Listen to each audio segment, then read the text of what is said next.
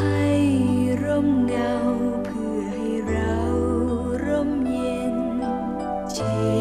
กดังเช่นธรรมเมฆบนนภา เราร่มเย็น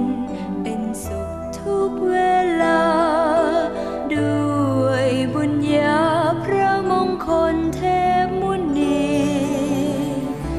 คำสอนสั่งครั้งท่านมีชีวิต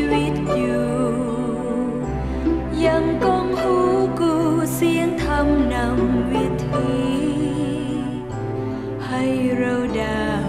ใส่ใจสร้างบ้าน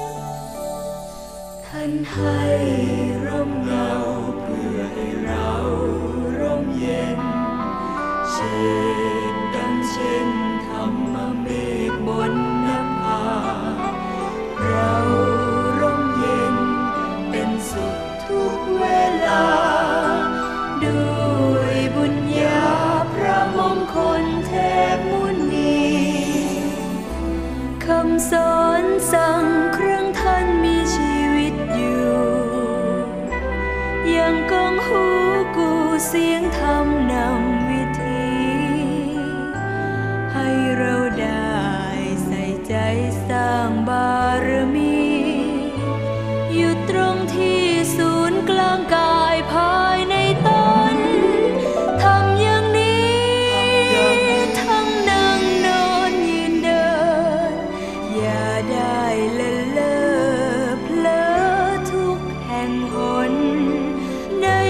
秋。